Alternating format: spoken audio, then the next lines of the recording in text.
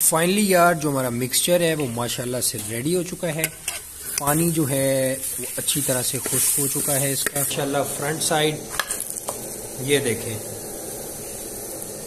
माशाल्लाह, ये आप देख सकते हैं red Aslam welcome back to another blog तो आज की वीडियो का हम करते हैं आगाज़, और आज जो है, मैं आप लोगों के साथ शेयर करूँगा मूली के पराठे कैसे बनाते हैं और ये जो हमारी रेसिपी है, ये इनशाला बहुत ही आसान होने वाली है। और मैं ये थोड़ा सा आपको पीछे दिखाता हूँ कि आप देखें, बादल आए हुए हैं और ये देखें, सूरज जो है छुपा हुआ है बिल्कुल। तो इस मौसम में तो मूली के पराठे जो हैं, वो बहुत ही अच्छे लगते हैं।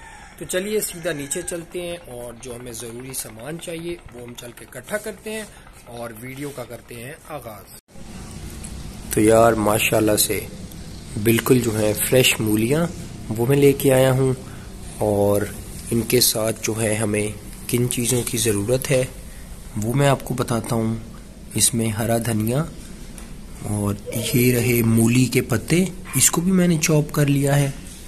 उसके बाद कुटी लाल मिर्च, सूखा धनिया, हल्दी, नमक और इसमें रहा अदरक का पेस्ट और ये रही सब्ज़ मिर्चें। तो अभी सीधा चलते हैं और चल के जो मूलियाँ हैं उनको कद्दूकश कर लेते हैं। तो यार मैंने कहा मूलियाँ अच्छी तरह से धो के और इनके जो हैं हमने छिलके वो ऊपर से उतार लेने हैं और नेक्स्ट स्टेप है इनको हमने कद्दूकश करना है। तो मैं ये कर लूँ तकरीबन पंद्रह मिनट के बाद आपको दोबारा मिलता हूँ। तो यार माशाल्लाह से मूलियों को मैं कद्दूकश कर लूँ। और इनका जो है मैं एंड पे आपको बताऊँगा। जब इनको कद्दूकश करते हैं तो इनमें जो है अच्छा खासा पानी भी होता है। वो भी मैं आपको बताऊँगा कि पानी कैसे निकालना है। तो यार फाइनली जो मूलियाँ हैं, वो मैंने कद्दूकश कर लिया है इनको। और ये देखें इनमें से कितना पानी, ये आपको मैं दिखा दूँ। ये देखें। तो इसीलिए इनको जो है मैंने छानने में रखा है, ताकि इनका पानी जो है अच्छी तरह खुश्क हो जाए। तो यार, माशाल्लाह से ऑयल जो है, वो कढ़ाई में हमने ऐड कर लेना है और इसको अच्छी तरह से हमने गर्म होने देना है। तो यार, अदरक और उसका जो पेस्ट है, लहसन का, वो हमने इसमें ऐड कर लेना है और ख्याल आपने ये करना है कि जो अदरक की क्वांटिटी है, वो इसमें ज़्यादा होनी चाहिए। इसको जो है, हमने लाइट ब्राउन कर लेना है। अच्छी तरह से फ्राई हो जाए। ये आप देख सकते हैं कि मैंने इसमें कितनी ज़्यादा अदरक मैंने ऐड की है। तो यार, माशाल्लाह से जो अदरक का कलर है, वो लाइट ब्राउन हो गया है और अभी इसमें मूलियों का जो मिक्सचर है, वो हम ऐड कर देते हैं और इनका जो है हमने पानी अच्छी तरह से खुश्क करना है। तो यार, इनको जो है तकरीबन पाँच से दस मिनट हमने अच्छी तरह से भूनना है ताकि इनका जो पानी है, वो अच्छी तरह से खुश्क हो जाए। वक्फे वक्फे से आप चम्मच हिला सकते हैं। और उसके बाद जो है नेक्स्ट स्टेप मैं आपको बताऊँगा कि क्या करना है। तो यार इसको जो है तकरीबन पंद्रह मिनट हो चुके हैं और अभी भी देखें आप पानी जो है वो कितना तेज़ी से खुश्क हो रहा है। क्योंकि यार मूली जो थी ये बिल्कुल फ्रेश है और फ्रेश होने की वजह से जो है इसमें पानी ज़्यादा था। तो इसीलिए इसको मज़ीद जो है अभी 10 मिनट और लगेंगे। और उसके बाद जो है इसमें हम मिसाला वो ऐड करेंगे। तो यार मिसाले में जो है हमें हल्दी लाल कुटी मिर्च, उसके बाद नमक और हमें चाहिए होगा सूखा धनिया। ये एक एक चम्मच है तो इसको हम ऐड कर देते हैं अभी।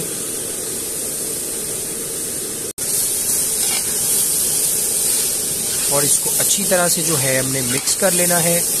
और इसके साथ जो है हम ग्रीन चिलीज वो ऐड करेंगे।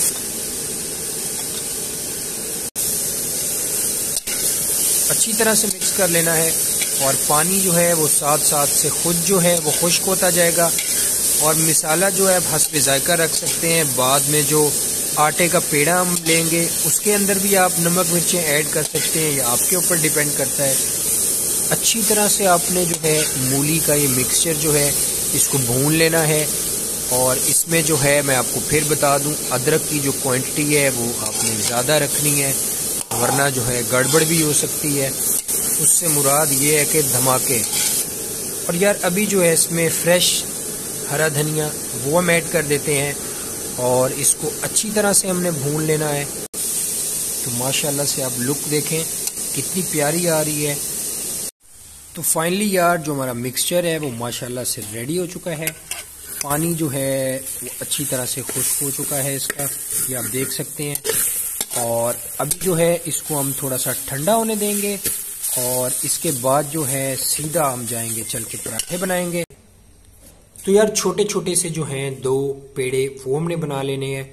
आटा जो है आप फ्रेश भी यूज़ कर सकते हैं और अगर आप फ्रेश यूज़ नहीं करना चाहते तो उसको आप थोड़ी देर फ्रिज में रख दें ताकि वो थोड़ा सा जो है सख्त हो जाए।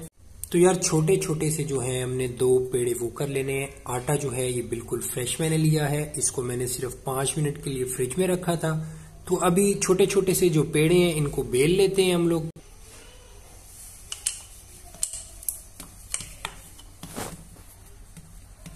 इनको जो है ऐसे हमने बेल लेना है अच्छी तरह से। इसको जो है आप एक उसमें भी बना सकते हैं और वो भी मैं आपको बता दूँगा कि एक उसमें कैसे बनाते हैं। अभी जो है इसमें मैंने थोड़ा सा ऑयल वो मैंने ऐड कर लिया है और अभी जो है इसमें मूली का जो मिक्सचर है, वो आप देखें, माशाल्लाह। नमक मिर्चें जो हैं आप बाद में भी डाल सकते हैं, जैसे हम नमक मिर्च वाला पराठा बनाते हैं और अभी जो है इसको इस तरह करने के बाद, ये देखें, अच्छी तरह से कवर हो गया है। इसके ऊपर जो ये वाला पोर्शन है, उसको हम रख के अभी इसको जो है हम खुशके में दोनों जो इसकी साइडें हैं, वो हम डिप कर लेंगे और अब जो है इसको हम अच्छी तरह से बेल लेंगे।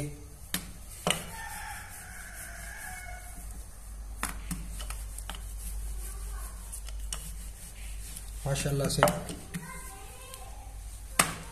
ये देखें, कितना बेहतरीन छोटे पेड़े लेने का ये फ़ायदा होगा जो आपका पराठा है, वो बिल्कुल ही आपका पतला और बारीक बनेगा। और इसके साथ जो है हमने आग तवे के नीचे जला देनी है। और अभी जो है गरम गरम तवे पे इसको हमने डाल माशाल्लाह से देखें, कितना बेहतरीन है ये। और अभी जो है इसकी मैं साइड वो चेंज करता हूँ। और यार, आग जो है वो ज़्यादा तेज़ भी नहीं आपने रखनी। माशाल्लाह इसकी लुक देखें। ये मैंने इसकी साइड जो है वो चेंज की है। और अभी इसको आराम से होने दें। फिर जो है इसमें हम ऑयल इसके ऊपर वो लगाएँगे। माशाल्लाह से लुक देखें आप पराठे की फ्रंट साइड से। और अभी जो है इसके ऊपर ऑयल वो हम ऐड करते हैं। तो यार ऑयल जो है वो अच्छी तरह से आपने ऐड कर लेना है। माशाल्लाह से ये देखें। और अभी जो है इसकी साइड को हम उल्टा करते हैं। माशाल्लाह।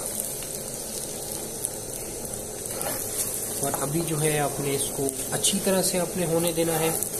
और मैं आपको इसकी फाइनल लुक दिखाऊँगा सामने से। तो रेडी हो जाए इसकी फाइनल लुक के लिए, माशाल्लाह फ्रंट साइड ये देखें। माशाल्लाह, ये आप देख सकते हैं रेड क्रिस्पी पराठा है काफ़ी, और अभी जो है इसको मैं प्लेट में रेडी करता हूँ ताकि जो है इसको हम टेस्ट कर सकें। तो माशाल्लाह, अभी जो है पराठा बिल्कुल रेडी है, और इसको जो है मैं आपको दिखाता हूँ बीच से। माशाल्लाह। ये देखें कितना बारीक और कितना जो है ये पतला है। अभी मैं तो इसके ऊपर थोड़ा सा देसी घी वो ऐड करूँगा। और यार साथ जो है आप दही दही के साथ अब भी आप खा सकते हैं। और मेरा तो आ चुका है देसी घी तो मैं तो इसके ऊपर ज़रूर देसी घी ऐड करूँगा।